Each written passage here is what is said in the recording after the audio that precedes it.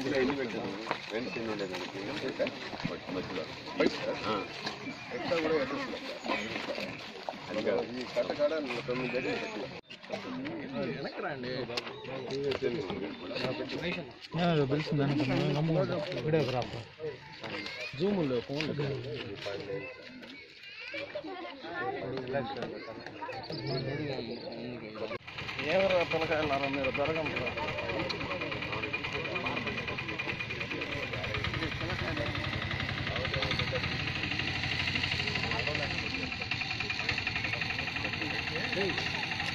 ఏమి చేయలేదు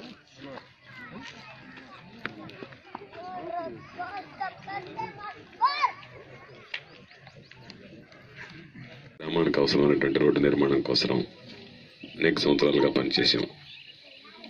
ప్రతిపక్షంలో శాసనసభ్యుడిగా ఉన్నందువల్ల ఈ గ్రామానికి సంబంధించి రోడ్డు త్వరితగతిన మంజూరు చేయించలేకపోయినా ఎట్టకేలకు ఈరోజు గ్రామానికి సంబంధించి మరలా వచ్చేటప్పటికి తార్ రోడ్డు నిర్మాణం ప్రారంభించి ఈరోజు ఈ గ్రామానికి రావడం జరిగింది. అయితే దాదాపుగా అసెంబ్లీలో కానీ అసెంబ్లీ బయట వల్లపాలెం గ్రామానికి సంబంధించి గ్రామానికి సంబంధించినటువంటి రోడ్డు నిర్మాణంతో పాటు రైతులకు సంబంధించినటువంటి అవసరాలను గుర్తించి వాటికి సంబంధించినటువంటి అభివృద్ధి కార్యక్రమాలను పరిశీలించడంతో పాటు అవసరమైనటువంటి కార్యక్రమాలను ఏర్పాటు చేయడానికి గ్రామస్తుల సూచనలు సలహాలు తీసుకుని రాబోయేటువంటి రోజుల్లో ఏ విధంగా ముందుకు వెళ్ళాలనేటువంటి దానికి ఈరోజు నల్లబాలెం గ్రామాన్ని సందర్శించడం జరిగింది.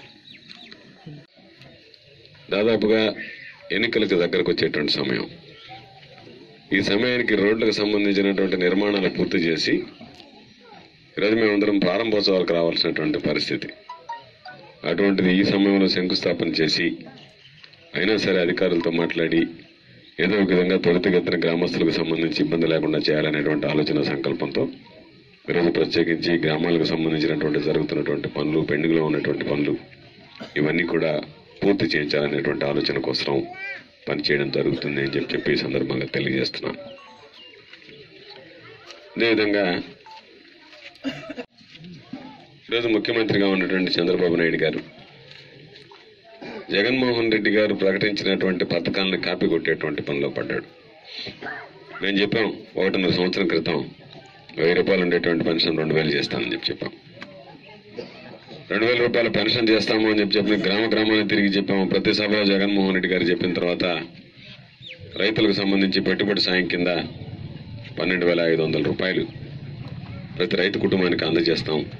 నాలుగు విడతలుగా ఒక్కొక్క కుటుంబానికి యాభై వేల రూపాయల ఆర్థిక సహాయం అందిస్తామని చెప్పి చెప్పి ప్రకటించడం జరిగింది. జగన్మోహన్ రెడ్డి గారు ఇచ్చాపురంలో జరిగినటువంటి చివరి